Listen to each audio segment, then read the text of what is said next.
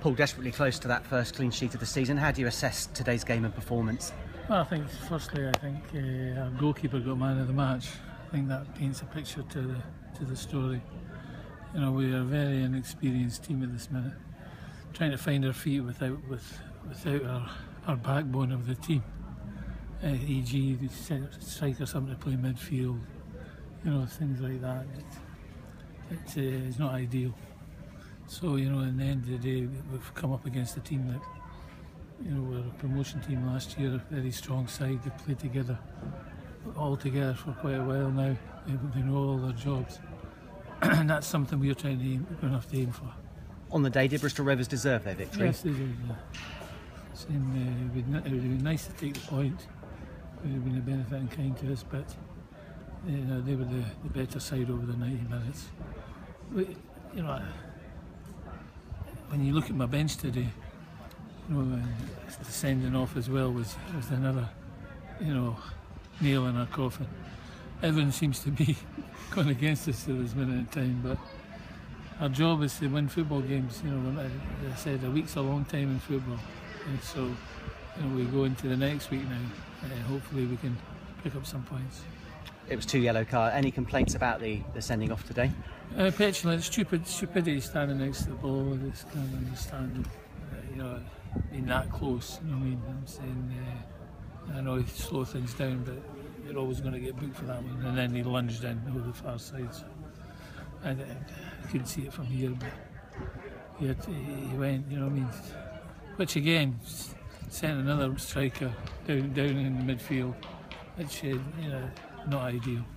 And yeah, how short of options does that leave you in the centre of midfield, and does it heighten the need to bring somebody possibly into the football club?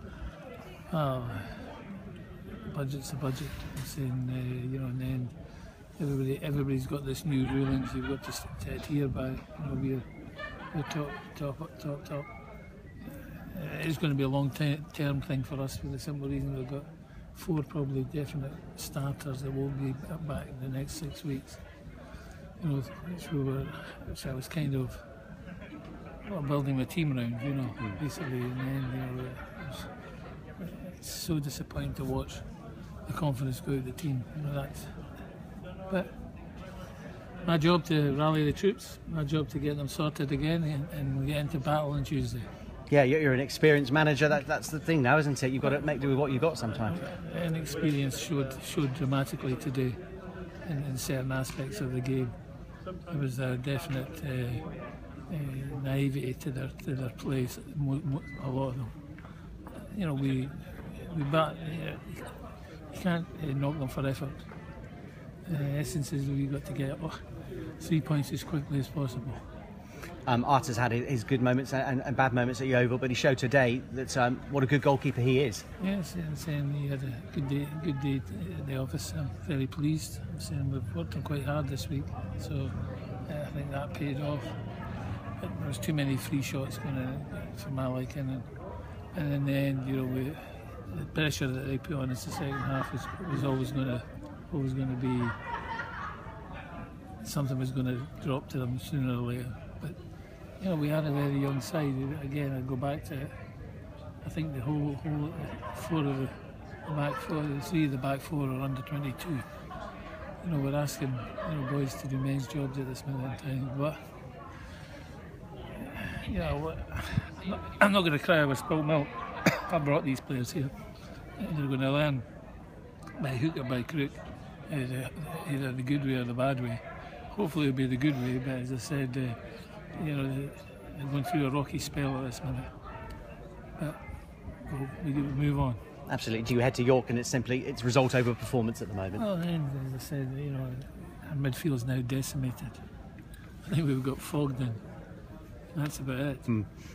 So I'll have to come up with some weird and wonderful ideas for Tuesday. Yeah, and the positive as well. There's still 44 league games to go, so it's still very early days. Know, I think we, you know the, the, we were looking forward to the start of the season. We were looking forward to being strong and and having, having our full regalia to pick from.